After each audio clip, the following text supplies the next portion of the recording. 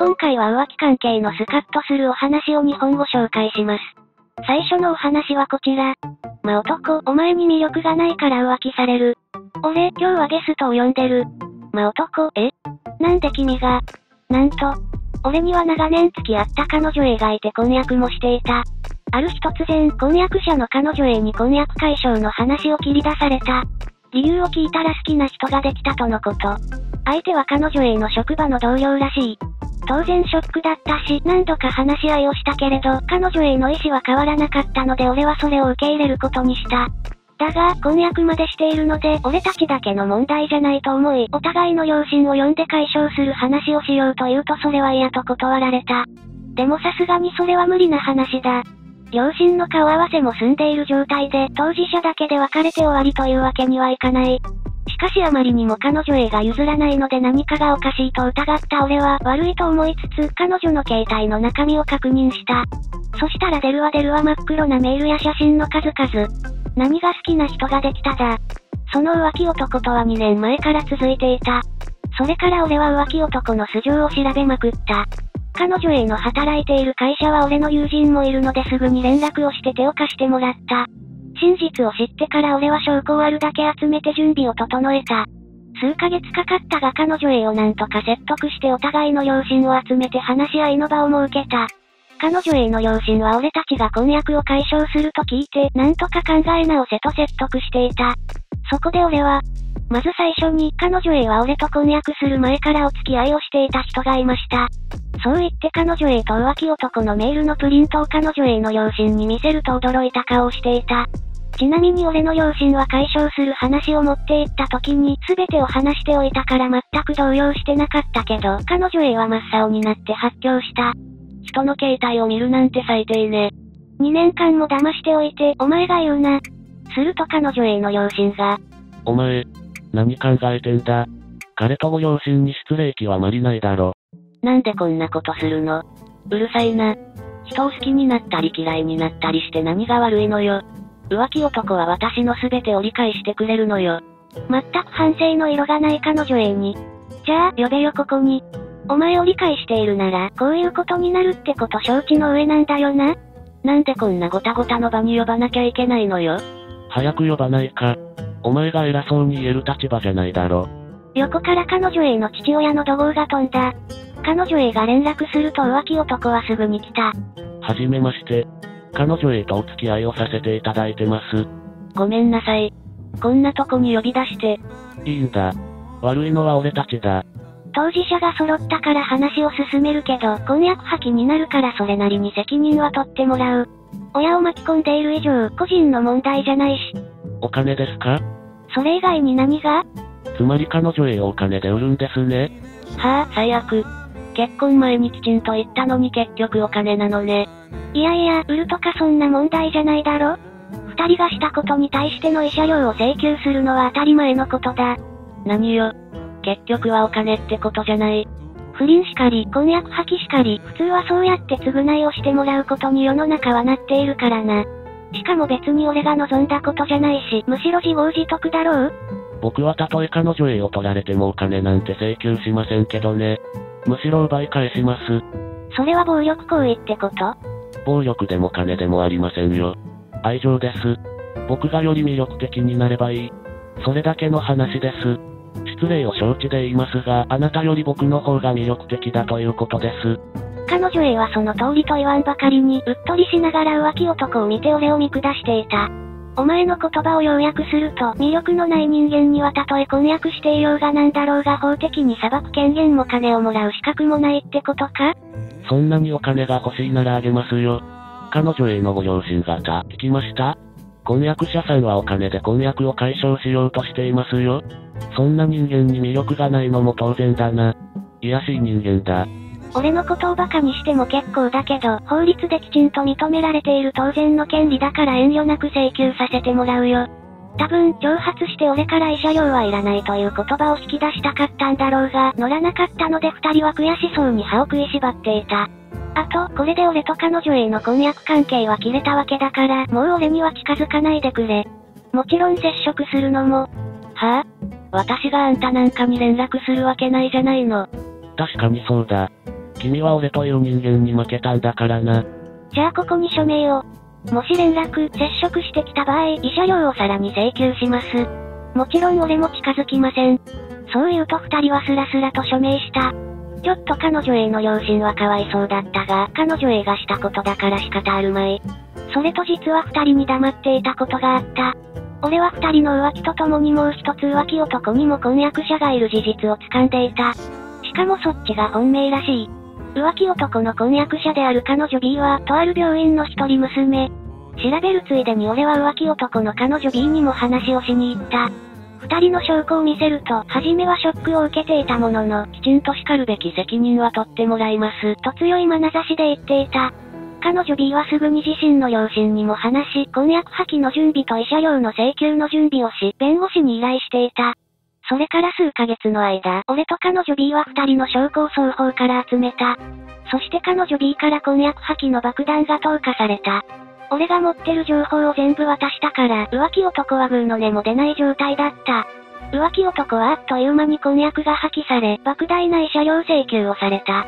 その後、俺は彼女 B からお礼を言われて食事に誘われた。お互い裏切られたって共通点もあり、話してみるとすごく気があった。その後も何度か顔を合わせるうちに、俺は彼女 B に対して好きっていう感情が芽生えていたんだけど、彼女 B の婚約が切れるまでは、そうあっちゃいけないと思って我慢してた。そして婚約が破棄された時点で思い切って告白したら見事 OK してもらった。するとしばらくして彼女 B と俺が付き合っていることが耳に入ったらしく浮気男が連絡してきた。お前、俺の婚約者に情報を渡したのか？あれ？この連絡ってルール違反ですよね？うるさい。それどころじゃない。俺と彼女 B の婚約が破棄されたんだ。どうやって責任を取るつもりだ？お前、自分の言ったことを覚えてないのか？奪われるのは魅力がないからだろ？それに生涯、彼女 A を愛するんじゃなかったのか？うるさい。俺の本命は彼女 B だ。許さないからな。慰謝料を請求してやる。好きな女が奪われたら魅力で取り返すし、お金も請求しないんだろう？そもそも俺が彼女 B に告白したのは婚約がきっちり破棄になった後だ。慰謝料を請求される覚えはない。すると同時に彼女 A からも連絡が来て、なんでこんなこと黙ってたのよ。なんで俺がお前に言わなきゃいけないんだよ。最悪よ。あんたのせいで両親から感動された。まあ、そうなるだろうな。俺からの慰謝料と彼女 B 側からの慰謝料も相当だからな。財産分与してよ。慰謝料とか払えない。知るか、そんなこと。っていうか財産分与って。結婚もしてないし、そもそも俺ら他人だろう？なんで俺が他人の慰謝料、肩代わりしなきゃならねえんだ？そう言って電話を切ってやった。その後も鳴りやまない連絡にうんざりしながらも全部留守電にして録音した。浮気男からの留守電には、電話に出ろ。お前、絶対追い込むからな。脅迫をいただきました。ありがとう。あれ？魅力どこ行った？愛情は？最後には彼女 A からの留守電にも、お願い連絡して、話し合おうよ、と泣きついてきた。でも許してあげないし、二人とも俺に連絡してきた時点で慰謝料追加って約束忘れてるみたいだからその後しっかり思い出させてやったよ。ちなみに浮気男と彼女 A は会社も同じだったこともあり、浮気がバレた二人は仲良く会社をクビになって、バイトしながら慰謝料を返すしかなくなった。その後、俺は彼女 B とお付き合いをして、その3年後に結婚した。正直、俺は医者でも何でもないし、彼女 B のご両親に大丈夫かと思ったけど、4人兄弟の末っ子だから何の問題もなかったし、むしろ後継ぎはすでにいた。ちなみにあの後、浮気男と彼女 A は結局すぐに別れたらしい。両親のいる席であそこまで盛大に愛を語ったあれはどこに行ったって話だ。次のお話はこちら。1月の真冬、カエルと息子が肌着で外に出されていた。一緒に家に入ると嫁が真男とやってる最中だったので、俺は嫁と息子と3人で暮らしていた。2年間の単身赴任から帰ってきた俺を待っていたのは浮気男と常時に及んでいる嫁の姿だった。ただいまな、何よ。帰るなら連絡よこしなさいよ。出て行って。今すぐ出て行ってよ。全裸のまま慌てふためいた嫁が久々に帰ったばかりの俺を家から追い出した。う、浮気？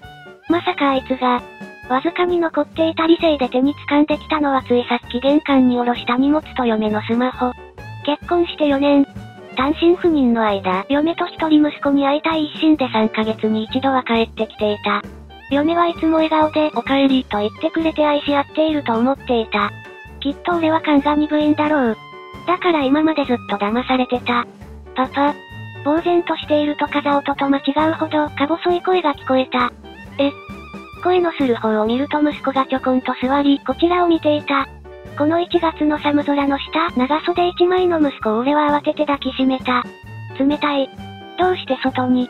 息子の体は完全に冷え切っていた。俺は息子に自分の上着を着せ、震える体を抱きしめてファミレスに向かった。どうしてお外にいたんだ？聞けば、浮気男が家に来るたびにこうして外に追い出されていたとたどたどしくも息子は話してくれた。ファミレスに到着し、まだ晩ご飯を食べていないという息子にお子様ランチを食べさせながら俺は嫁のスマホを確認した。すると中身は真っ黒だった。メールを遡ればどうやら俺と結婚する前から関係が続いていたようだ。そして俺は二人の間で ATM と呼ばれていることを知った。突然のことで怒りより戸惑いの方が大きかった。何より困ったのはもうすぐ3歳になる息子のことだ。恥ずかしながら俺は今まで仕事一筋で息子の世話など全然したことがなかった。風呂の入れ方もおむつの替え方も普段息子がどんなものを食べているのかさえわからない。それに俺は明日も仕事がある。その間、息子はどこで生活すればいいのか、すべてがわからなく途方に暮れた。俺の両親も義両親も家が遠く、頼ることはできない。お父さん、電話してくるから食べててね。うん。どうしようもなくなった俺は、唯一近くに住んでいる友人に電話をすることにした。おしさ突然どうしたの？突然ですまない。実は嫁が浮気をして息子と二人、家を追い出されて困っているんだ。数年ぶりの連絡にもかかわらず、二つ返事で友人は会いに来てくれた。いい子ね。息子くんは私が見ておくから二人でお話ししてください。ありがとうございます。友人のお嫁さんが息子の世話のためについてきてくれたようで大変助かった。今夜は俺の家に泊まれ。今後のことも財布とスマホさえあればなんとかなるって。すまん。いいさ。子は宝ってな。子供の世話は俺たちが教えてやるし、困った時は助け合おう。ありがとう。ありがとう。そう言いながら俺は号泣した。俺はいい友人に恵まれた。その後、友人の家にお邪魔するとお嫁さんは息子をお風呂に入れてくれたり世話をしてくれた。その傍らで俺は友人とさらに話をした。離婚するのか？ああ。俺と結婚する前から浮気して、息子を長袖一枚で放り出したやつだ。そうするしかない。そうか。愚痴ならいくらでも聞く。今夜は飲もうぜ。ありがとう。それから俺の不安や怒り、悲しみに、これからの将来のことまで色々語った。友人は親身になって聞いてくれた。嫁さんはこれからどうすると思う？実家にでも泣きつくか？いや、うちの嫁は両親と仲が悪い。おそらくそれはないだろう。義実家と嫁は反りが合わないらしく不仲だ。嫁はお盆と正月くらいにしか実家に顔を出さない。逆に俺はギフト趣味があったのもあり、義実家とは積極的に仲良くさせてもらっていた。一通り話を終えると、友人はこれからのことを助言してくれた。明日はとりあえず理由をつけて会社を休め。そして離婚の準備をするんだ。まず確保したスマホから不倫の証拠を確保する。そして離婚届を役所からもらってくる。それから嫌だろうが家に帰りお前の通帳を確保し荷物をまとめてくることだ。さらに欲を言えば自宅に不倫の証拠があればそれも確保することだな。翌日、友人のお嫁さんが息子の面倒を見てくれるというので俺は甘えて外に出た。市役所が開くと同時に離婚届を確保し、意を決して家に帰った。緊張しながら家に入ると、なんと嫁も浮気男もおらず拍子抜けした。だが、おかげでゆっくりと家の中を漁ることができた。すると出てくる出てくる数々の浮気の証拠。パソコンの中の写真や動画、泊まったホテルの領収書やサービス券、さらには浮気男のものらしいパンツや服、コンドームまであった。どうやら嫁は日常的に浮気男を家に連れ込んでいたらしい。俺は証拠を集めながら吐き気が止まらなかった。しかし一番気になったのは息子のことだ。なんだこれ？どういうことだよ？息子の荷物をまとめようとして初めて気がついたのだが、息子には服が数えるほどしかなかった。何日も同じものを着なければ間に合わない計算だ。俺は息子の世話は任せきりだったが、せめて衣食住は苦労させまいと成長に合わせて副代としてのお金を渡していた。その息子の副代はどこへ消えたのか。ひょっとすると浮気男とのデート代に消えていたのかもしれない。そう考えると腹渡が煮えくり返りそうだった。友人の家へ戻ると息子は友人のお嫁さんが作ったクッキーを食べていた。何から何まで本当にありがとうございます。とんでもないですよ。困った時はお互い様です。それよりも、もし離婚を進めるのなら弁護士を雇うべきです。慰謝料と養育費をもらわなきゃ。え、べ、弁護士ですか？そんな大ごとにするつもりは、自分たちで何とかしますよ。甘いですよ。素人じゃどうにもならないこともあるんですよ。そう言われ、俺は弁護士を雇う準備をした。そしてその日のうちに義実家に連絡をした。事態を知った義父はひたすら俺に謝った。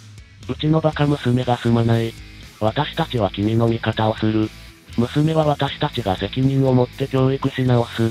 本当に申し訳ない。泣きながら謝る義父にはなんだか申し訳なかった。そして後日、義両親を交えて嫁と話し合いをすることになった。弁護士からの連絡で俺が離婚する気でいることを知った嫁は弁護士を通じて俺に連絡してきた。別れないで。私はあなたを愛してるの。この前はあの男がいたからあなたを追い出すしかなかったの。ごめんなさい。お願いだから息子と一緒に帰ってきて。息子を外に放り出していたのは弁解なしですか？そうですか。この女は、しかもお前は浮気男とのメールで俺のことを ATM と呼んでいたじゃないか。そう言ってしまいたかったが全ては話し合いで追及すると弁護士と段取りしていたのでぐっと耐えた。明日の夜7時から家で話すからそのつもりで。それだけ言って電話を切った。翌日、ギフと義母と合流し家へ突入した。お前はなんてことをしたんだ？自分のしたことをわかっているの？ま、待って。誤解なのよ。何が誤解なんだ？あの男と関係を持ってしまったことは認めるわ。でもあれは向こうから言い寄ってきて無理やりされたの。夫はその場面をたまたま目撃しちゃっただけ。お願い。みんな信じて。じゃあ、息子を家から追い出していたのは何なんだ？そ、それもあの男が勝手に。関係を持ったのも、息子を追い出したのも、全部浮気男のせい。それがお前の言い分でいいんだな。そうよ。信じてよ。これはお前と浮気男のメールのやり取りだ。こっちはラブホテルの領収書とポイントカード。それから息子の件だが、家には息子の服がこれっぽっちもなかった。俺が息子の服代を渡していたのにだ。お前は日常的に息子を可愛く思ってなかったんじゃないのか？な、何よ。なんなのよ。これ。人のスマホを勝手に見るなんてプライバシーの侵害よ。私があんたを訴えてやる。裁判沙汰にする気か？だったらまずこっちが弁護士を通じて訴えさせてもらうが。お前は俺からの仕送りを全部デート代にして浮気男を家に連れ込んでいたんだ。証拠は腐るほどある。言い逃れできるのか？あんたが悪いんでしょ。あんたが仕事ばっかして私をほったらかしにするからでしょ。つまんない男。あんたなんか裏切られて当然だわ。ブサイク。モテないやつ。結婚してやってるだけありがたいと思えよ。いい加減にしろ。黙って聞いていれば貴様は、その仕事ばかりの彼のおかげで生活ができているんだろうが、甘ったれるのもいい加減にしなさい。お前はゴミだ。いいや、ゴミ以下だ。一生実家で反省していなさい。結局、俺が切れるよりも前に義父が大暴れし、嫁はボコボコにされた。その後も反抗する嫁をなんとか説得し、無事離婚が成立した。きちんと浮気男と嫁から数百万ずつの慰謝料を請求した。ちなみに浮気男は元ホストで現在はチャランポランなフリーター。そんな男と生活できるはずもなく、すぐに別れたそうだ。一方、俺と息子は、友人と友人のお嫁さんに絞られてなんとか家事と息子の世話を覚えた。そんな手助けもあり、俺はなんとか息子と二人で生活する準備をすることができた。友人と友人の嫁さん二人には本当に頭が上がらない。今まで仕事ばかりでほったらかしてきた息子だったが、俺の努力が実ったのかだんだんと俺に懐いてくれ、甘えてくれるようになった。これからの日々は大変かもしれない。息子も男で一人で物足りないかもしれない。けれど一生懸命生きていくしかない。頑張ろう。